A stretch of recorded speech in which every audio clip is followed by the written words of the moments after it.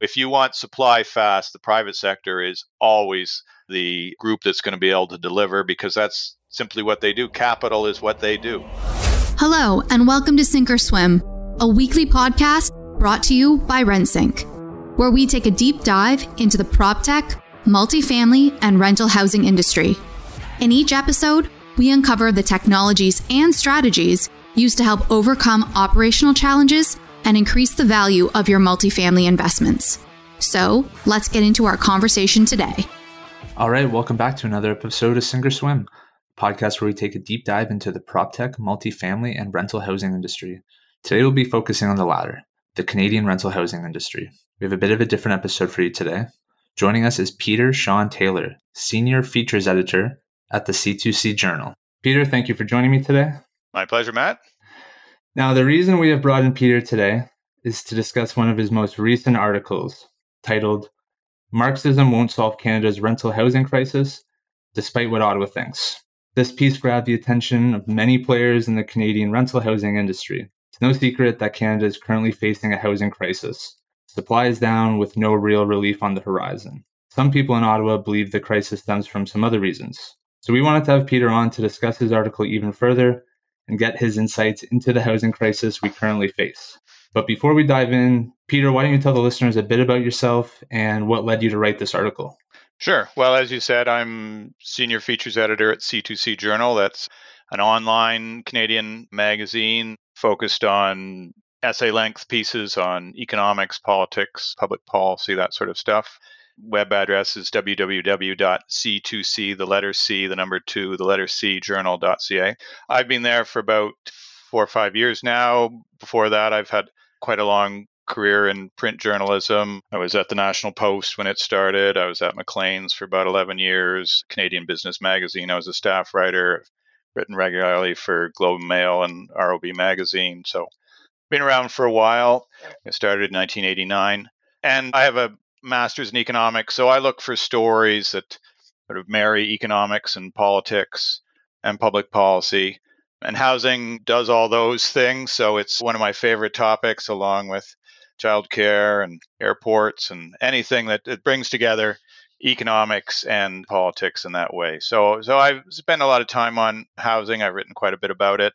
And when last summer or so I got a email. I guess I'm on some sort of email list from the Federal Housing Advocate, which was a organization I'd never heard of before, but uh, it's a, uh, a, federal office. They sent me an email about their investigation into the financialization of the, the housing market. I figured this is something I should probably take a look at. And as I as I read, I got more and more outraged or shocked or befuddled by what I found, which means you're probably onto a pretty good story. So something that uh, hasn't been covered very much by the rest of the media, but some of the things going on in Ottawa with respect to housing and, and coming out of this federal housing advocate and the National Housing Council, which is another organization that's just recently been set up by the Liberal government. There's a lot there to chew on, and certainly it's of I think it should be of great interest to the purpose-built uh, rental housing industry in Canada. There's a, some very troubling uh, things there. So that's the medium length version of how I ended up to write this story. Yeah, there's a lot to chew on, and we'll definitely get into it. So, for any mm-hmm. listeners who haven't really had a chance to read your piece, you know, we'll we'll attach it when we put this out for anyone to to get a chance who haven't. But let's try to set the stage a little bit for any listeners who haven't had a chance yet. So mm-hmm. you mentioned Canada's Federal Housing advocates and their office. This is you know, a main character in your uh, in your article. This sure. is a new position created by the Trudeau government. Her name is Marie-Josée Houle. Could you just briefly explain what Marie and this office has been tasked with? Sure. This comes out of the Trudeau government's 2019 federal housing strategy. One of the key but perhaps underreported aspects of that strategy is the claim that housing is a human right. This is a, certainly a novel and somewhat contentious argument the Liberals passed a bill in which they claimed to abide by the notion that housing is a human right. You need to mention that this is not the same as it actually being mentioned in the Charter of Rights, for instance. It's not. It's really just a statement of policy. Another government could come along and cancel the bill and, and this would go away. But be that as it may, Trudeau Liberals are currently operating their housing policy with the belief that housing is a human right. And so, as part of that, they created this office of the federal housing advocate, Marie Jose Uhl, who was appointed uh, almost a year ago, February 2022. And they created a National Housing Council, which is supposed to give advice. And the advocate and this council are supposed to work together in some ways to bring issues up that um, reflect this housing as a basic human right perspective. So, the first thing that the Federal Housing Advocate has done, really, of any substance, is commission a whole series of reports and studies on what they call the financialization of housing in Canada. The, the quick version is that it's all bad. And the Federal Housing Advocate has asked the National Housing Council to hold an inquiry into this. So, attention will be paid to financialization of housing in Canada, which has become the sort of the rallying cry of this political sort of pursuit. So, the next question you might ask me is financialization of housing. What does that mean? exactly what I was going to ask you. it's a very good question because it is not entirely clear, other than the fact that all these folks think it's a very bad thing. They don't do a very good job of defining it precisely. Really, it's just a catch all phrase for anything they don't happen to like about how the housing market works now, is evidence of financialization. I can give you, I got the reports here. I can give you a couple of what they claim to be the definition. And when this the summary, this comes from the summary report of the Federal Housing Advocate in a, her uh, investigation into financialization. Financialization refers to a shift in the operations of capitalism in which finance capital has come in recent decades to dominate the economy and everyday life. Financialization has also been measured by researchers who tracked the growing increase in financial transactions, the profitability of financial firms, and the growing share of national incomes taken by holders of financial assets. I could go on, all sorts of different definitions pop up in this work. Generally, it's an animosity towards anyone making profit in the rental housing market. These folks use capitalism as a pejorative. They think making a profit is bad making a profit denies people their basic human rights to housing. If housing was cheaper and because people weren't making a profit at it, then more people would be able to fulfill their human destiny to have the sort of housing that they wanted. So, you know, as you read the the title of my piece, uh, the first word was Marxism. This is and always sound you always sound a little goofy if you go around claiming your opponents are Marxists, but I think this is one of those cases when it's pretty clear this is their general predisposition. It's not just Houle, the, the federal housing advocate. It, she's assembled a kind of a team of academics across Canada to promote her idea of financialization. There's a whole series of reports, not just one report, whole series of reports written by academics who all seem to share the same political outlook that capitalism is bad, profit is bad. If we didn't have capitalists, everyone would have a better house and be happier. So that's that's my perspective on what financialization means. If you asked the federal housing advocate uh, her opinion, you might get something different. But that's uh, from my perspective, generally an animosity towards capitalists and the, and anyone who makes a profit in the rental housing market. I know you reached out to her office, and uh, I think you mm-hmm. were several times. Yeah, denied for her take on what down. financialization. She'll talk to the uh, and like a week after that, I saw her interviewed by the Globe and Mail. So it's not that she was completely unreachable. It was just she didn't feel like having to explain herself to me. I guess uh, the same, and I might add her that the the academic who seems to have done most of the work for her, Martine August at the University of Waterloo. She also refused several requests from me for an interview. So they've got lots to say, but they don't want to say it to me. Well, I think that's a good understanding for the listeners of what financialization kind of means and how they're kind of blaming the current crisis on financialization. I mean, in your opinion, what do you believe is the root cause of the rental housing crisis in Canada right now? And how does it differ from this office's understanding of the issue? Well, I think what's most interesting is you look at how does the federal housing advocate think that we can solve a current housing crisis, which, as you said, is is really a, a lack of supply. And you go through the recommendations made in these these reports, and they are all, from my perspective, these are measures that will reduce supply. This is things like regulating banks to prevent them from loaning money to firms that build housing for profit, prohibiting pension funds from doing the same thing, denying for profit rental housing companies access to federal federal programs, imposition of nationwide rent control, a whole variety, uh, expropriation of certain housing owned by the for profit sector. Really, it's a whole raft of measures meant to make it impossible for owners to make a profit, to raise rents. And all of that is what gives people inclination to build more. It's the prospect of profit that leads companies and individuals to draw up plans to add to supply in this country. And and all the recommendations are aimed at preventing the for-profit private sector from having any inclination to build. What they see as their mandate is to improve social, co-op, nonprofit housing. That's the perspective that the federal housing advocate seems to have as the solution to Canada's housing crisis. I think it's worth mentioning that all of that comprises about 4% of Canada's total housing stock. Uh, in terms of rental housing, it's about 11%.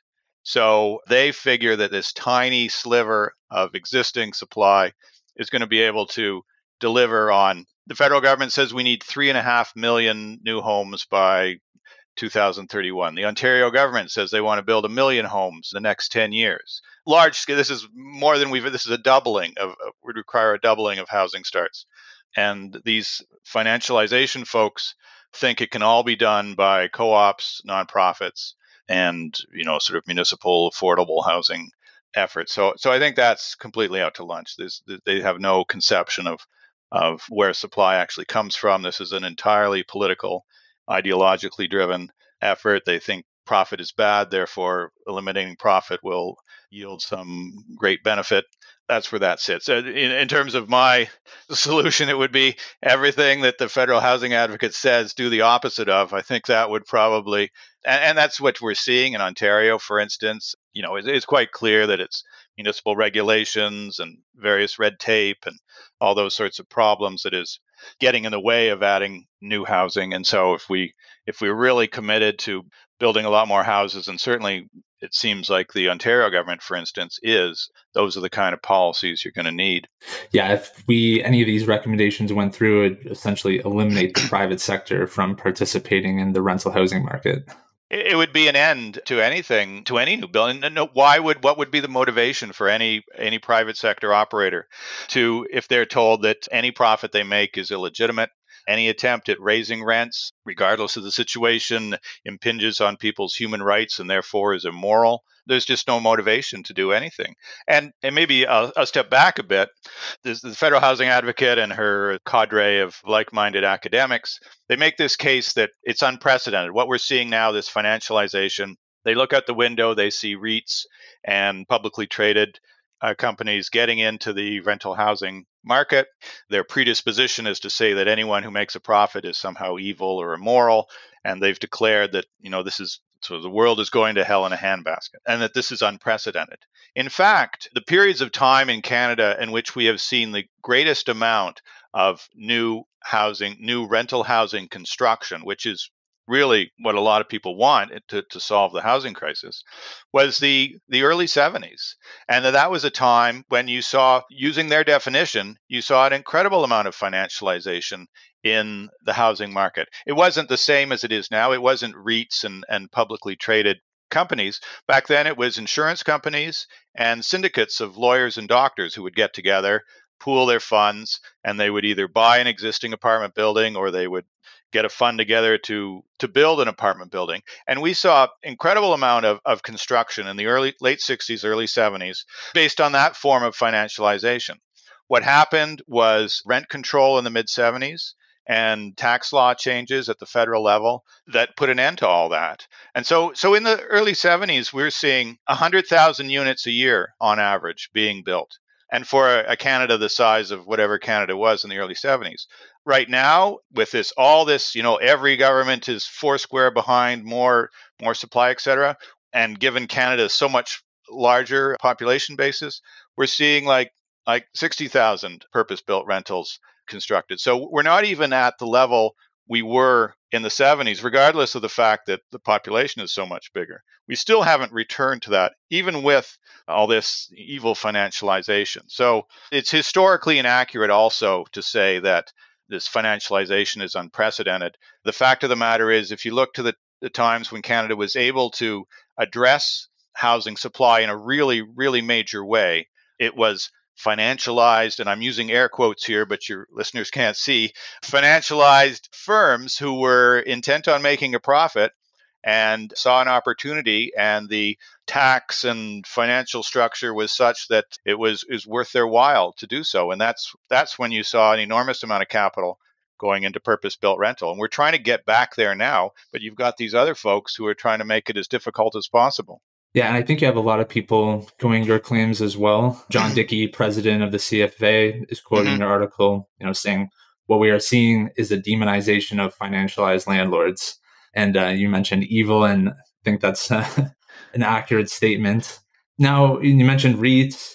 Switch it up a little bit. You mentioned in your article, you reference Andrei Pavlov, mm-hmm. a finance professor at Simon Fraser University and you reference his experiences with government housing. Essentially, what the office is proposing is, like you mentioned, abolishing privately built rentals and putting the onus on the government to create not only just affordable housing, but to meet all of the housing targets that are set out by 2030. Mm-hmm. So, can you walk us through a little bit about Andrei, Andrei Pavlov, his experience back home in his country of Bulgaria, and really why his experience mirrors what is being proposed and essentially why social housing isn't a solution for us. Sure. That, that's the example I lead off the story with. And it was just one of those examples of sort of a wonderful uh, coincidence that happens when you do research. And Andrei Pavlov is an expert in housing finance. As he said, he's a finance prof at Simon Fraser University. But he also happened to, to grow up in Bulgaria under the communist rule, which I didn't know when I reached out to him, but uh, as we were talking, he you know said, "Well, let me tell you about my background." And so so yeah, he he grew up in in Bulgaria behind the Iron Curtain, and he was telling me about you know the housing that was everywhere. And I I think your listeners probably have a general mental impression of this communist era housing. It's these large, imposing, concrete sort of bunker like buildings. And it turns out there's interesting backstory, they're, they're all made with prefabricated concrete panels that can be sort of craned into place. Uh, Khrushchev decided this was the cheapest and most efficient way to, to house everybody in, in, in communist Russia and, and, Eastern Europe. And they all had different, they were all, the names they were given. In Bulgaria, they were called uh, Panelkis. In East Germany, they were called Panelhaus. They had a, there was another similar name in Hungary. So they're all these prefabricated concrete panel houses and they were all terrible as as Pavlov explained to me the build quality was terrible these are made off site these panels are just craned into place. No one really cared about doing a good job because there was no profit to be made there was no competition uh, you lived here or you lived in a hut basically. They leaked because the panels weren't joined properly they're dark they were small because the government just wanted to house everybody as quickly and cheaply as possible. Really depressing places to live. And this, as as Pavlov said, you know, this is he read through the Federal Housing Advocates report, and he says, well, this is what they're this is what they're recommending is state provided uh, housing. If you if you take the profit completely out of everything, and you declare housing to be a human right that must be government provided, then this is what you're going to get. And perhaps even the worst part of these Panelkis is that because it was all controlled through the Communist Party, they weren't even fairly distributed, despite the fact that they're all crappy places to live in. The, the best ones, you know, the penthouses or the ones that maybe had fewer leaks or whatever, are the bigger footprint. They were all given to party officials and their friends and family. You know, they were all distributed on a crony, corrupt sort of basis. So it's not just a sort of a, a theoretical issue here. And here's someone, an expert in the field, who can tell you, well, this is what you get if you go down this road. If you declare housing to be a human right that must be government provided without any profit, these are the implications. This is what you're going to get. And I can guarantee you, no one in Canada wants to live in a Panelki. So that's that's the that's the consequences of taking this, you know, as I say, a, sort of a Marxist perspective on things. Like what you hear so far? Make sure you never miss an episode by clicking the subscribe button now. This podcast is made possible by listeners like you. Thank you for your support. Now let's get back to the show. Yeah, something that's been brought up numerous times throughout is that REITs and other larger private organizations are driving up rents mm-hmm. when they you know when have they vac- when they have vacant units and do renovations and improve the quality of their units it naturally drives up rents and doesn't sound great to their, their current tenants but at the end of the day you're creating a, a better place to live so, you know, can you take us through a little bit why REITs and other private investors, you know, actually offer better housing options than some of the smaller and smaller mom and pop run operations? One of the unusual aspects of this whole federal housing advocates research agenda on financialization is this animosity towards REITs, especially in any form of sort of corporate housing ownership, compared to this mom and pop. And they there's this sort of theme that runs through it that it would be better if it was run by small landlords. That they assume that small landlords are somehow less likely to renovate or less likely to raise rents. They're somehow going to be nicer to their tenants. There's no, absolutely no evidence uh, of this. Someone who gets into someone who owns an apartment and rents it out is is likely motivated by making profit, and I don't see that there's any reason. And they again they, they provide no evidence to say that some individual independent landlord is less likely to raise rents, less likely to renovate and ask the tenants to leave. None of that. So it's completely unscientific in that way. And if you talk to industry folks, they'll say that there's, there's substantial benefits to having corporate ownership in terms of regular routines and and systems in place that take the human element out. In other places, this federal housing advocate campaign claims that financialization is racist and that it hurts black and racialized tenants in some unspoken way. Again, no evidence for this, and it would seem to me on a prima facie basis that if you have a sort of a computerized system for accepting tenants, it's going to be less racist than it would be if if someone is meeting people at the front door and deciding, do I like the look of that possible tenant over this possible tenant? So that that's a, a really problematic and, and quite sketchy part of this argument. The other thing that they're much more explicit about is that REITs in particular are responsible for driving up rents, as you say, either through renovation and, and then re-renting out at a higher rate, or simply as because they've some sort of market power that they've cornered the market.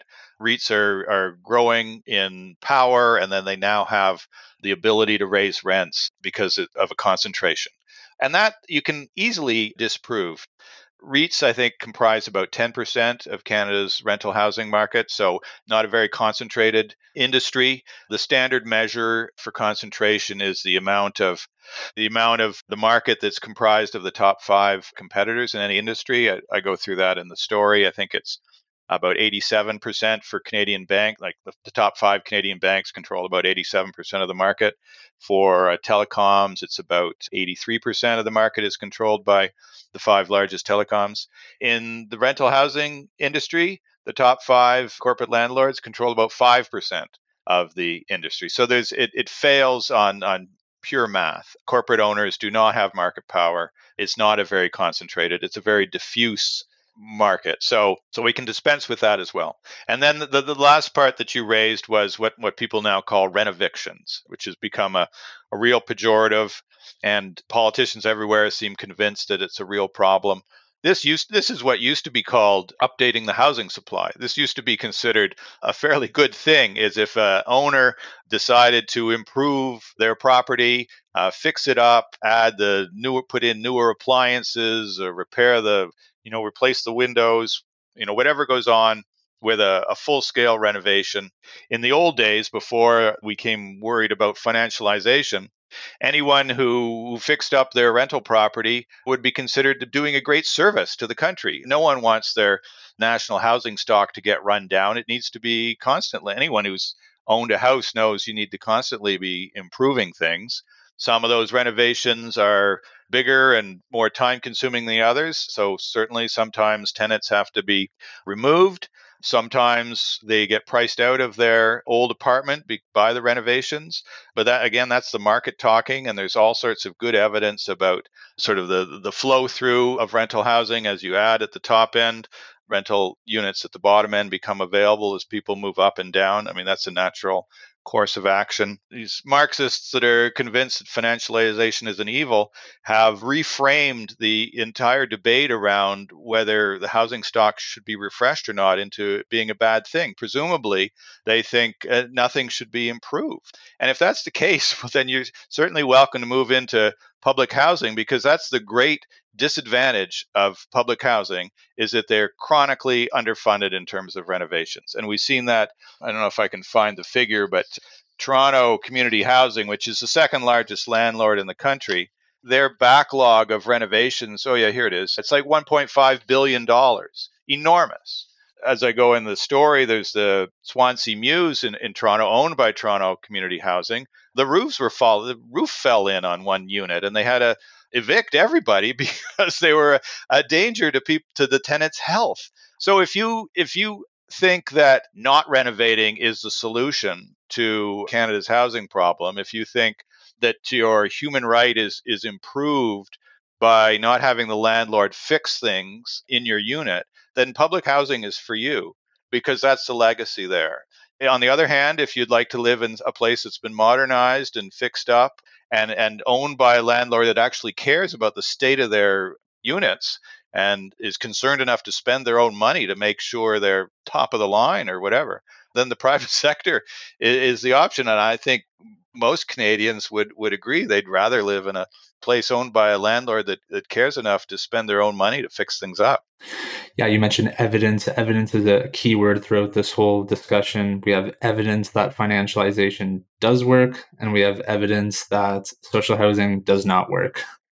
yeah, I mean, I mean, I'm not saying social housing is terrible, and there's some fine co-ops out there, and for a certain segment of, of the rental population, social housing may be the best and only option. So I'm certainly, I'm not sort of the equivalent of, of Houle on the other side saying we shouldn't have any social housing. I think there's a, place for it, certainly, but it's certainly not the universal solution. You know, other examples, that Grenfell Tower fire in, in London a couple years ago where 72 people died. Again, that was publicly owned housing. The you know New York City's public housing is is terrible. So there, there was no electricity, there was no hot water for long stretches of time in recent years. So there's big, big problems. And to say that we can get rid of all uh, profit-making landlords and and simply rely on social housing co-ops and, and other affordable housing efforts to to solve all our problems is just is just absolutely delusional. It will never hit the target set out Ottawa if we rely solely on social housing with the, the massive immigration numbers we're expecting. Absolutely it's, impossible, yeah. It's evident we have to work hand in hand between the private sector and the social sector. I mean, in your opinion, really what role should the government play in addressing the current rental housing crisis? Well, I think we've seen a lot of encouraging signs, particularly in Ontario in terms of requiring municipalities to re- relax all their regulations. J- just the focus on supply, I think it's slowly coming around that for a long time people denied even that we had a supply problem. And so the, the, the acceptance from the federal government, you know, this is how many million houses we need to build. From the provinces, this is how many million houses we have to build. People are starting to focus on supply as the issue.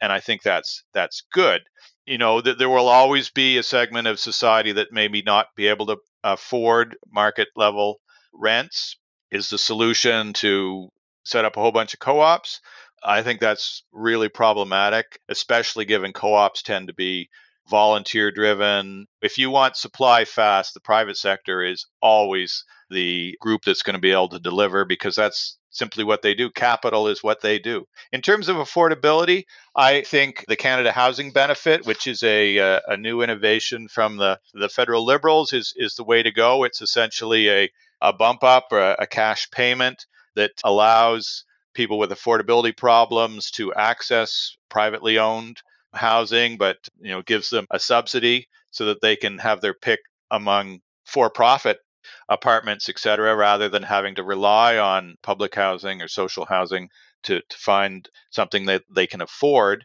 The problem, as I discussed in the story, is that these sorts of cash payments, unless there is sufficient supply, these sorts of cash payments simply get built right into rents. You know, if there's if you're constrained in terms of supply, if it's a seller's market, giving people a benefit a cash benefit is going to get sucked away very quickly. So we still need even. I, I think that's a good long-term solution is a, is a housing benefit because it allows the private sector to deliver on housing, and that's clearly the, the segment that is best able to move fast and, and to move in large numbers. Ultimately, though, I, I think a housing benefit is, is once we get the supply problem solved, then I think a housing benefit makes more sense to me than really, really leaning on the co-op and, and nonprofit segments because as we've seen in the past, again going back to the 70s, et cetera, government interest in that kind of thing really wanes and fluxes. There was a period in the 70s and 80s when when governments were really keen on this kind of thing, and then you hit an austerity era, and governments really pull back, and so you've got this push and pull effect on on co-op and social housing funding, and, and you don't get that with the, the private sector. Now, Peter covered a lot there. You know, definitely, I think there there is a, a light at the end of the tunnel of this. Ultimately, it comes back to supply. Do you really see any other countries out there that kind of compare to Canada's current mm. rental crisis? And have you seen any solutions that other countries have maybe implemented that could possibly work here as well?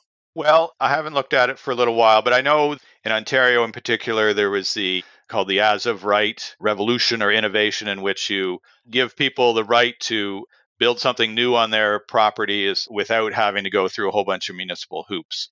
In Ontario, we got kind of a watered down version of it with the Ford government.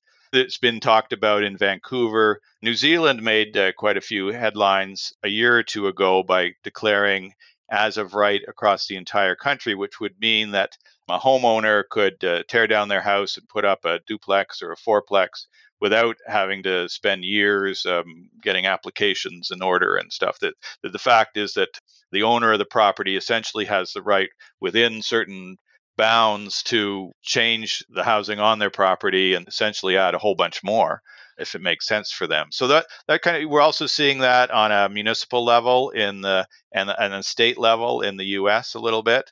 Just the beginnings of this, which is it's really good news from my perspective because it's saying that private landowners are really the solution here. That if if I decided I wanted to put a granny suite in the backyard or I wanted to put a separate unit in my basement or I wanted to tear the whole thing down and put up a duplex or a fourplex or something that I'm I don't face any any serious regulatory hurdles for doing that. I mean that has the potential of really increasing housing supply. So that's on a kind of on a micro level. Certainly the the trends we've seen in Canada with big corporate interest coming back to the rental housing market after being away for decades is, is also good. I can't tell you whether that has any parallels in other countries or not because I haven't really looked at it too carefully. But but anything that gets private capital interested in building housing is, is good from my perspective. I think that's a good positive way to start wrapping this up a little bit. Mm-hmm. Now, this is going to be, like you said, we're kind of at the precipice of some of these advocates' proposals. Where would you suggest people keep an eye on what's going on in Ottawa and is there anywhere that they can kind of voice their concerns with what is being proposed? Funny you should mention it. Just in prepping for our, our talk here, I had a look at what was going on at the Federal Housing Advocate and the National Housing Council because I haven't, you know, really spent much time on it since the story came out. And then turns out last week this National Housing Council has accepted Houle's request for a uh, inquiry into financialization. So they're just just last week a, a call went up on their website saying that interested parties can appear and, and make a discussion. So these the, the machinery of Ottawa is grinding along. I would also note that that this a study of financialization, which with the, the, the, pejorative meaning front and center, is also included in the supply and confidence agreement between the federal NDs and, and liberals. So and, and you can see signs of it also in the federal budget and, and various places. So it's not just it's not just the federal housing advocate. These these notions are permeating through a lot of the levers of government, and it's we're starting to see the outward and visible signs of this. The the National Housing Council's hearings is is is one example of this. So I found when I was doing my research that it was some industry folks were very reluctant to go on the record with this. They were kind of hoping, I think, that it would all kind of blow over, or if they didn't say anything nasty that they would sort of get a, a good hearing in Ottawa. You mentioned John Dickey. He was one of the few people that was prepared to to say what he believed, and, and it was a very refreshing interview with him. But there's there's some aspects of this industry seem to think that they can stay quiet and and fix it behind the scenes, and I'm not convinced on that really. And and here we've got this this series of hearings that is just going to be a I would expect it to be a nonstop forum for complaints about capitalism and REITs and profit and how people's human rights are being denied by financialization. So it's all out there. And I think the industry as a whole and individually, different companies need to start speaking out about it because if you don't, uh, it becomes a sort of accepted wisdom. Yep. So for any listeners out there, make sure, like Peter says, keep an eye on some of these hearings. Definitely not going to blow over anytime soon. Peter, as we wrap up here, thank you so much for shedding some light on this topic and letting the listeners know a little bit what's going on in Ottawa behind the scenes. Where can they follow you and where can they read their article and where's a good resource to stay on top of this topic? Well, I'll just repeat the C2C Journal's website to www.c, the letter C, to the number two, letter C, journal.ca. That's where most of my work appears. We do have deals with the National Post and some other publications where we give them shorter versions of our our stories to just spread the, the word a little bit. Uh, Financial Post comment is a, a favorite place for those shorter versions of my essays. But anyway, no, it's it's an interesting topic, and I'm sure I'll be coming back to it because it, certainly there's more to chew on, as you said. Right, so everyone, yeah, check out C2C Journal. Keep an eye on Peter's work. He's doing some great jobs on highlighting some of these industry trends, and I think that's a good place to end. Peter, again, thank you so much for joining us today. Yeah, it was a real pleasure. Thanks for having me, Matt. No problem. All right, have a good day, everyone. You've reached the end of another episode of Sync or Swim.